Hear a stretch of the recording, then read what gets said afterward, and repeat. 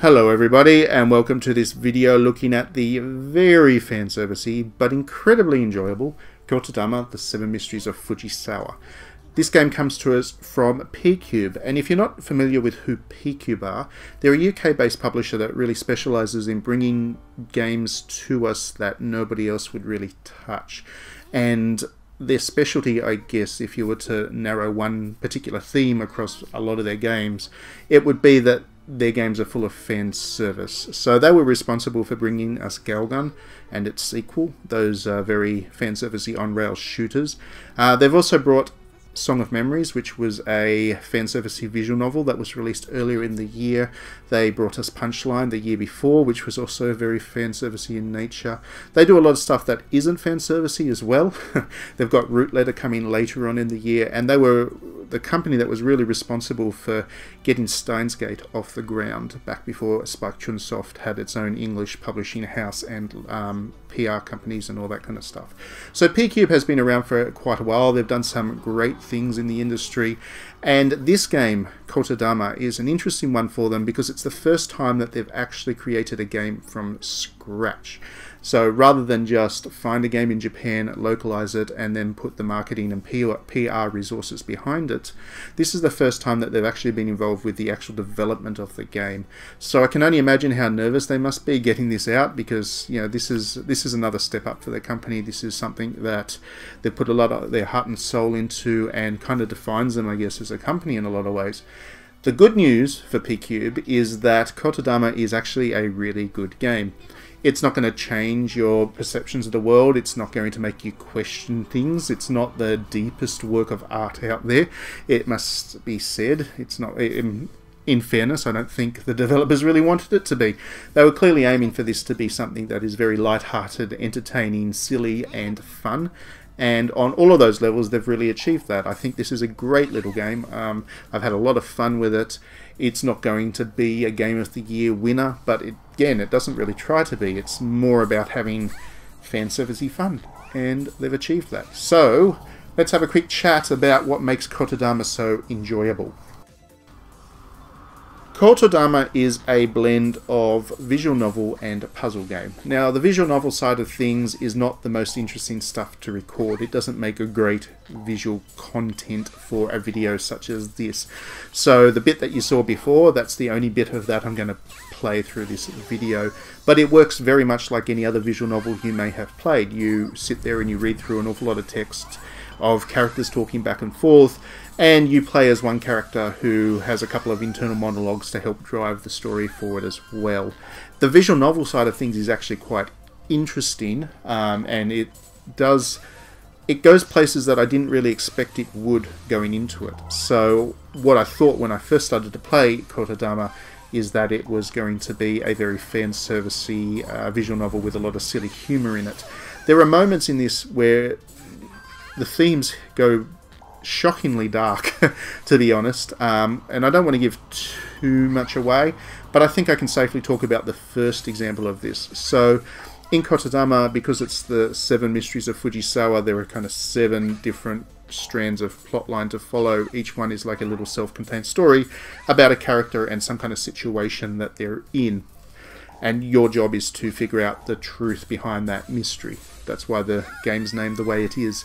So the first of those little stories involves a character who absolutely loves animals, but for reasons also uh, abuses them, which is quite shocking. And uh, while it's not visually represented on the screen, just reading through the text kind of shook me a little bit, especially since I'm a big fan of animals myself.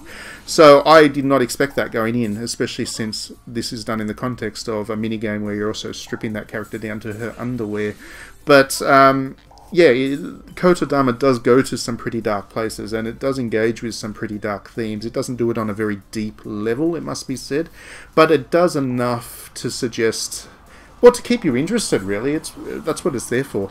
It does enough to make you want to play on and find out what the next mystery is and just see what kind of messed up situations the game goes into. That is of course uh, mixed in with an awful lot of humor this game does deliver on that nonsense that it promised from the visuals. But yeah, I, I, guess the best way to really describe it is that it's not really what I expected going in, and I mean that in a good way. It actually impresses me with some of the places it goes, some of the ideas it touches on, and some of the deeper themes that it does engage with on a very light level, just enough to be intriguing without it getting too dark and dense. The other part of Kotodama, and the more relevant part as far as the gameplay goes, I guess, is the puzzle sections. Now, the puzzle sections are explained in game as your character's ability to dive into the subconscious of the other characters. So, in the visual novel section of the game, these characters are all lying to you, and then by diving into their brains, effectively, and beating them at this puzzle thing, uh, you're able to force them to tell the truth, and that's how you progress the story and all of that kind of thing. So those puzzle games work out like a pretty standard match three formula.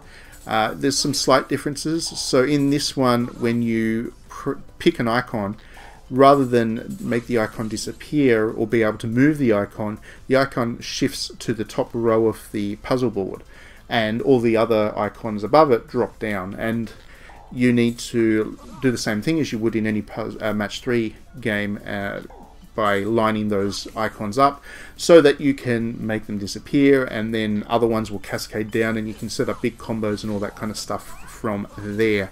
So that slight shift in how you have to look at the puzzle board is interesting. As somebody who's played an awful lot of match 3 puzzlers, it was nice to have something that is slightly different or something I haven't played at least in the past. Uh, and it did take me a couple of turns or a couple of puzzles to wrap my head around the the different um, the different way that icons move around the board and how that affects how you can match icons up and all that kind of stuff. It's not too high pressure, it must be said. This game is a game that wants to be finished, so I never really had the game over screen as an issue, and um, by the time I'd done a couple of these puzzle boards, I was actually able to clear them pretty quickly. This game doesn't try too hard to, to challenge you, and uh, it won't be seen as very frustrating to people who don't play too many puzzle games as a result. So that's the that's the basic mechanics of the basic part of the game's gameplay as such.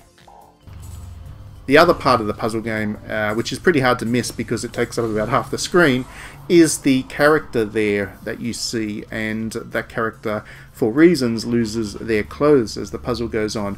Basically, what happens is as you make icons disappear and you rack up combos, uh, your score goes score goes up, and as the score goes up, once it hits certain levels, the character will remove part of their clothing. They'll strip down. Narratively speaking, it's I guess it's a way of visually representing you kind of digging down into the truth of a person. There's nothing, you know, there's nothing that they can hide behind any longer when they're just about naked. But um, mostly it's there for fan service, and I think that's pretty obvious to anybody that plays the game for even a couple of minutes. It's there as a bit of silliness, a bit of entertaining fan service.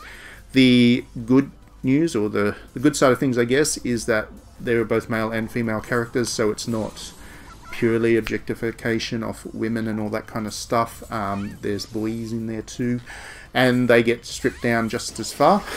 so it's not like Dead or Alive where there are male characters and yet they're not nearly as sexied as the women are. But um, there's no nudity in this game. It has to. I should make that clear. This is not a porn game. This isn't you know HuniePop where you can actually get the characters right down to the nuds. Um, they get stripped down to their underwear, and then once you get the next level up, that's it, you've cleared the game. They have a funny reaction, which is orgasmic. uh, and then they uh, the game shifts back to the visual novel section because you've cleared it, you've managed to get them to reveal the truth about themselves, and they're about to spill their guts to you in the visual novel. So, yeah, it pushes up against the boundaries without breaking them. It's not something that um, Sony was ever going to uh, censor for anybody that wants to use that term for it. Um, it, that was never part of it. It's it's done because it's entertaining and silly. It's not meant to be sexy or erotic or pornographic or anything. So, yeah. The fan service side of things is actually where the game gets most of its replay value as well. So once you've beaten a character in the story mode once and you've unlocked them, they then appear in the fantasize mode off the main menu. And in the fantasize mode, you've got just the puzzle board, there's no story around it. You've got just the puzzle board and a time challenge as such. It's not a time limit, it's more just a goal to try and clear the puzzle board as fast as possible. That's more a high score thing um, to kind of show how quickly you can strip these characters down to their underwear. Um, but each character, you can you can pick any of the characters you like. Uh, the puzzle board remains the same, but you can pick whatever character is your favorite and each character has four different sets of underwear which you can unlock. They'll start with just the one, you complete the puzzle board once, they'll unlock the second one, and then there are conditions to unlock the third and fourth. And that underwear is, well, it's pretty pretty fashionable, I have to say. These characters have pretty good taste in their panties. Um, it, it's all very colourful, and again, it's silly nonsense. It's not too erotic as such, but each time you unlock that set of underwear for your favourite character, it is quite amusing to go through the puzzle again to see what uh, that new set of underwear looks like because they are quite different. And yeah, that's where most of the game's replay value goes. Because there's no online leaderboards, there's no uh, endless mode, there's none of that. There's no time limits. There's, there's none of that to really add challenge to the puzzle board. It's really only you'll only play it through a couple of times once I guess once each time to see the the new sets of underwear that you unlock but yeah replay value is a bit of an issue with Kotodama uh, it would have done I think with an endless mode that would have helped uh, or some kind of leaderboard at least to, to share your top speeds because it doesn't even have that. It just registers the top score you've got. And there's only two difficulties in that bonus mode as well. There's just normal and hard. So it is a little bit limited on that angle, and that's a little bit disappointing um, because once you finish the visual novel itself, it's an enjoyable visual novel, don't get me wrong, it's actually a really entertaining one, but it doesn't have that kind of depth that you'll want to dig into it a second or third time. It's not like Steins Gate, where I can play Steins Gate over and over again and each time take something new away from it. This one's a much more shallow on the surface, it's for entertainment and laughs kind of game, which is fine. It Again, I'm not criticizing it for that, but I feel like the whole package is a little bit limited as a, work, I guess, as a result. But overall, PQube has done an absolutely stellar job with their first development project. Kotodama gets absolutely everything right that it needed to get right.